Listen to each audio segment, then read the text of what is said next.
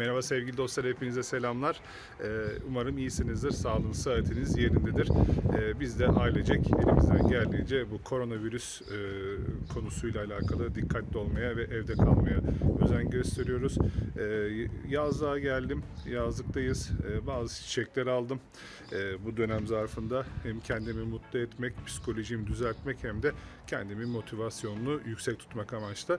Ee, sizlere bunları göstereceğim ve bilgiler vereceğim. Hangi e, fiyata aldım ve ne gibi bakım özellikleri var e, diye bilgiler paylaşacağım.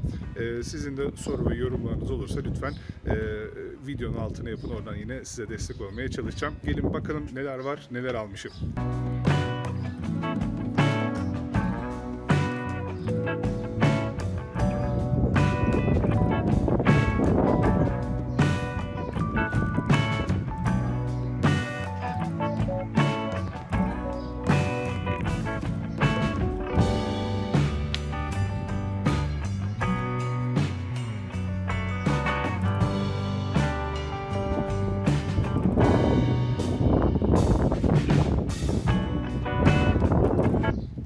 Evet sevgili dostlar, e, bunların hepsini 10 liraya aldım. Küpe çiçeklerini hepsini 10 liraya aldım. Bu çileğimizi ise 15 liraya aldım. Bu çileğin e, şöyle bir özelliği var. Belki dikkat etmişsinizdir. Şöyle göstereyim. Bunun e, çiçeği kırmızı açıyor. Normalde hep beyaz açar. Bunun çiçeği kırmızı açıyor gördüğünüz gibi. Burada bir tane de çileği var. Bunu 15 liraya aldım. Bakın buradan tomurcukları çıkmaya başlıyor. Sorduğum zaman 7 veren dediler. Abi dedim peki ben ilk defa görüyorum böyle bir renk e, çiçeğinde. Dedi bu yeni tür dedi. Belki genleriyle oynanmış bir e, çilek olabilir bilemiyorum. Ama rengi farklı geldi. Bakın burada da içinde de beyaz olan var. Şurada bakın. Bu da başka şey e, ismini söyleyeyim. Fideyi ekledim bunun içine. Bizim bahçede yabaniler vardı. Yabanilerden de ekledim. Bunu götüreceğim eve dikeceğim çünkü. Bunu buraya koyayım. Buna geleceğiz.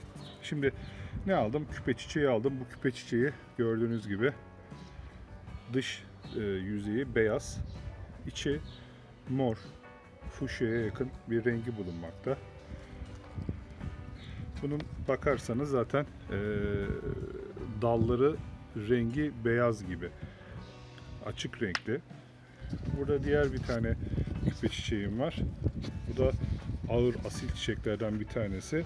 E, kırmızıya fuşya rengi. Bunun daha iri tomurcukları bulunuyor.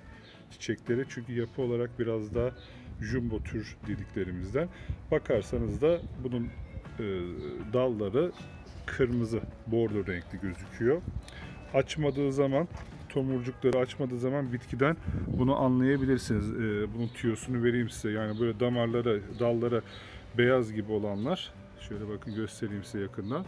Beyaz gibi olanlar açık renkli oluyor. Dış yüzeyi beyaz oluyor. Burada e, koyu olanlar ise bu renge dönüyor. Mesela bakın burada da diğer bir küpe çiçeğimiz var. Bu biraz daha farklı bir e, renkte gördüğünüz gibi. Bakın. Evet bunun da e, içi beyaz açıyor sevgili arkadaşlar. Bembeyaz bir içi rengi bulunmakta. Zaten şuraya böyle pıt diye basınca patlıyor ve hemen açıyor. Ben ellemek istemiyorum. E, şimdi bunlar nasıl bir yer ister? E, öncelikle onu e, söylemek isterim. İstediği yer esinti olarak bol esintili bir yer ister. Aynı şu an gördüğünüz gibi e, esinti olması lazım. Çünkü küpe çiçekleri esinti almazsa hemen şu yaprak altlarında bir e, kelebekler oluşmaya başlıyor. Beyaz beyaz. Onun da tabii bir e, formülü var. Onu da halledebiliyoruz ama bilginiz olsun. Yani esintili yer olacak ve kesinlikle ve kesinlikle ev içinde almıyorsunuz. Kapalı balkona almıyorsunuz. Açık balkon, cam önü ama bol esintili bir yer olması gerekiyor. Bunu lütfen e, not olarak alın. Bunu kesinlikle böyle yapmanız lazım. Aksi durumda e, bitkiniz hemen ölür ve hemen böceklenir. Evet bakımlarına geldiğimiz zaman bakım olarak öncelikle birinci şartımız ev içi kesinlikle olmayacak. Kapalı balkon kesinlikle olmayacak. Ee, olması gereken yer bol esintili bir balkon veya cam önü olması gerekiyor sevgili çiçek severler. Ee, şu an bakın nasıl esinti var. Aynı bu esintiyi bulması gerekiyor. Ee, dediğim gibi böceklenmeye çok müsait bir bitkidir. Beyaz kelebekler sarıyor hemen ve buraları yumurta yapıyor ve siz bu yumurtaları fark etmeyene kadar kelebekler zaten çıkıyor. Siz e, ne kadar temizleseniz de her tarafı yumurta yaptığı için de e, bitki bir zaman sonra artık baş edemez hale geliyor. E, tarım ilacı kullanabiliyorsunuz. Herhangi bir sıkıntı olmuyor tarım ilacında ama dozajını iyi ayarlamanız gerekiyor. Onu özellikle bilgi olarak aktarmak isterim sizlere. Evet. Diğer e, özellikler e, güneşi çok a, aşırı şekilde görmesini istemiyoruz bu bit- bitkinin. E, kapalı balkonlarda tabii olmuyor zaten çünkü orada çok aşırı şekilde e, güneş ve sıcak geldiği zaman bayıltır bitkiyi. Bu nedenle e, olması gereken e, güneş sabah güneşi ya da akşam güneşini en az e, ikişer saat alması uygun olabilir. Yani sabah e, güneş çıktı ve iki saat gelmesi bir zarar ama olmaz ama sabahtan akşama kadar güneş alması e, sıkıntı olacaktır bitki e, açısından. Çok e, gölgeli yerlerde de olmayacak. E, bu sefer yaprakları ve çiçeklerin sağlığı açısından sıkıntı olur sevgili dostlar. Bu nedenle e, yani e, maksimum 3 saati geçmeyecek şekilde bir güneş gösterebilirsiniz ama cayır cayır öğle güneşini kesinlikle görmemesi gerekiyor bitkinin bu küpe çiçeklerinin. Çünkü gerçekten sıkıntı olur bu sefer bitkimiz e, açısından. Bakın çok güzel bir bitki. Çok sevdiğim bir bitki. E, zamanında ben nasıl alıyordum bunları öyle söyleyeyim size. Ben bunları normalde e, as- askılı e, saksılarda alıyordum ve e, en az orada bir 3-4 kök oluyordu ve yaklaşık 25-30 lira para veriyordum. E, ve bu şekilde en az her renginden, her çeşidinden alıp koyuyordum eve. Ama tatile gittiğin zaman su dengesizliğinden vesaireden çok çabuk kaybettim ve çok çabuk bitlendirdim bitkilerimi ve e, kullanamadık. E, bundan dolayı sevgili dostlar uzun süre almadım ama bu sene biraz daha farklı bir sistemle gideceğim. Çünkü artık bu 10 liralıklardan aldım. Hepsi 10'ar lira tanesi. Gidip de e, 30 lira verip de bunlardan 120 lira vermek yerine 4 tanesine askılı olarak küçüklerinden fide olarak alacağım e, ve 10'ar lira verdiğim zaman 40 liraya her renginden e, edinmiş olacağım ve e, çok daha esintili bir e, mekanım var. Oraya koyacağım. İlacım da zaten hazır. Geçen Eminönü'ne gittiğim zaman almıştım. O yüzden herhangi bir sıkıntı olacağını düşünmüyorum. Birkaç rengi var bunların. Onları da bulacağım. Zaten yeni yeni piyasaya çıkıyor.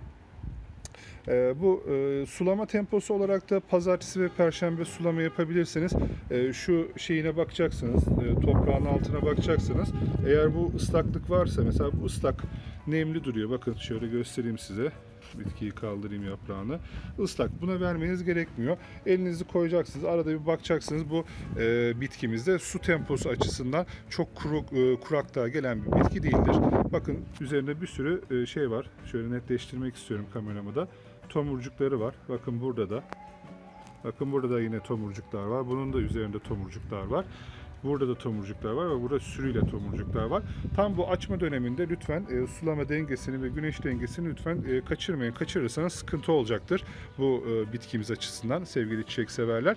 E, bu dönem içerisinde hormon yani sıvı gübre lütfen kullanın. 15 günde bir uygun miktarda çok aşırı derecede koymayın. Bakın güzel bir rüzgar. Ne bit kalır ne kelebek kalır. İşte böyle bir ortam olması lazım.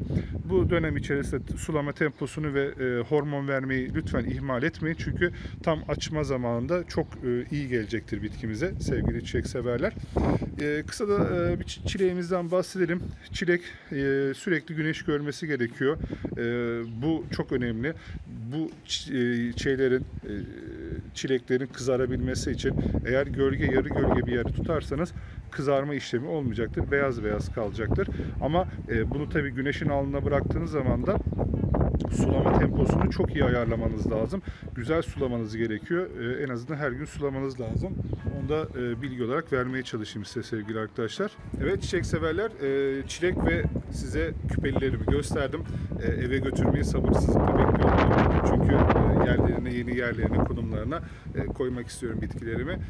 Bilgileri lütfen uymaya çalışın bakım bilgilerine. Eğer e, aksi durumda sıkıntı yaşarsınız. E, bitkinin bakımı ile ilgili e, bitlenebilir, ölebilir, e, böceklenebilir. O yüzden mümkün oldukça bakım bilgileri ne e, uyum göstermeye gayret edin ve aldığınız bitkileri de evinize uyum olup olmayacağını önceden lütfen araştırın. Sağlıklı kalın arkadaşlar. Kalın, hoşça kalın.